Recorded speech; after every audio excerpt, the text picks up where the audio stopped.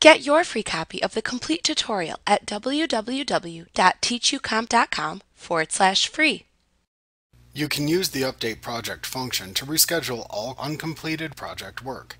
As when updating work completed in a project file, you can also reschedule all tasks within a project file or only selected tasks.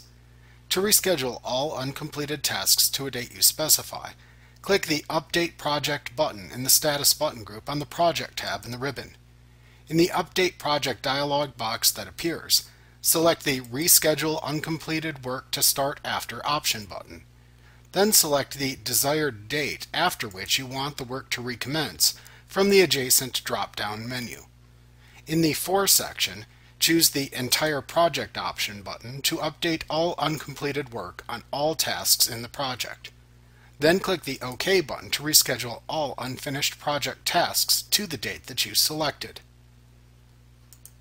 To reschedule only selected tasks, first select the tasks to reschedule within the Gantt chart view of the project file.